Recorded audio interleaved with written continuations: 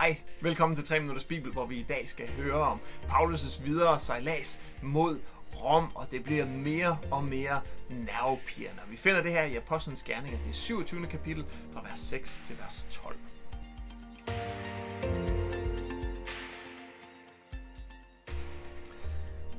Der, og det var altså i byen Myra i Lykien, hvor de var ankommet i det, vi læste i går, der fandt officeren et egyptisk skib med, med hjemsted i Alexandria. Eftersom det skulle til Italien, blev vi alle overført til det skib, og vi sejlede afsted. I flere dage gik det kun langsomt fremad, da vi havde stiv modvind, og med meget besvær nåede vi på højde med Knidos.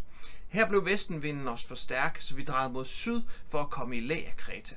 Da vi havde passeret Kap Salmone på øens østlige spids, sejlede vi med stort besvær vestpå langs kysten og kom endelig til gode havne i nærheden af byen Lasea. På grund af den meget modvind havde vi spildt mange dage. Det var allerede tiden for efterårsstormene, og en lang sørejse over åbent hav ville være yderst risikabel. Paulus advarede både kaptajnen, styrmanden og Julius. Mine herrer, sagde han, jeg forudser vanskeligheder. Hvis vi for, fortsætter rejsen nu, vil det føre til skibbrud med tab af både skibet og lasten. Ja, også menneskeliv vil gå tabt. Men Julius foretrækker at lytte til styrmanden og kaptajnen frem for Paulus. Og da den lille havn, vi var i, var uegnet til overvintring, holdt et flertal af besætningen på, at de skulle sejle videre til, langs kysten til Phoenix, der var en stor havneby på Kreta lidt længere mod nordvest. Den var kendt som en god havn med indsejling fra sydvest og nordvest. Der kunne de så afvente, at det blev forår. Så de sejler altså videre nu her, og så, øh, og så møder de igen, som de allerede har gjort, en del modvinder. Det gør, at de må ændre lidt på deres rute, og så sejler de sydpå og ned omkring Kreta. Og... øhm, og da de kommer til Kreta, så, så går de ind i en, i en havn, der hedder Gode Havne.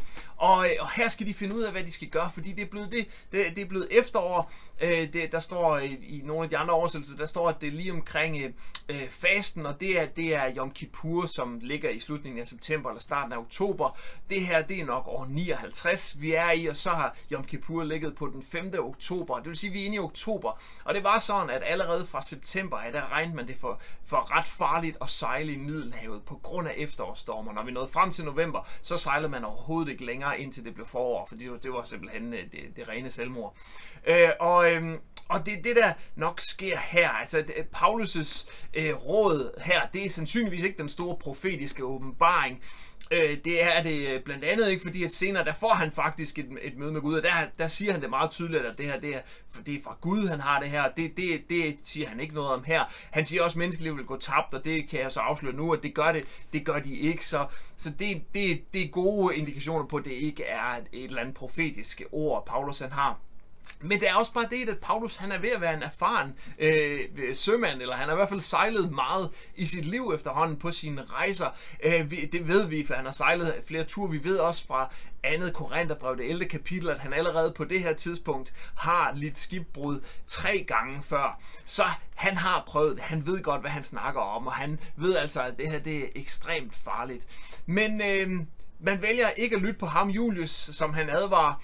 Øh, han vælger at lytte på, på styrmanden og skibets ejer her, og det giver meget god mening, fordi de havde en økonomisk interesse i, at skibet det nåede helt frem og med deres last, så de, havde, de var ret investeret i det her. Så det gav nok meget god mening, han lyttede til dem, og de sejler så videre øh, øh, mod øh, en, en havneby, som er lidt bedre. Problemet med her, hvor de var, det var simpelthen, at, at den var ikke, havnen var ikke særlig godt skærmet mod vind, mod de her vinterstormen, der kom, så det kunne ødelægge skibet. Det næste var, at, at der var ikke rigtig nogen by i forbindelse med havnen. Det var et stykke væk fra den nærmeste by, og så var man nødt til at lave et eller andet med, at nogen skulle blive tilbage og passe på skibet, og andre boede i byen, og så skulle de proviant frem og tilbage og så videre. Så, så det var en besværlig havn at over, overvintre i, og derfor vælger de så at øh, sejle videre mod nordvest for at komme til havnebyen Phoenix, som var kendt for at være en god by at overvintre i.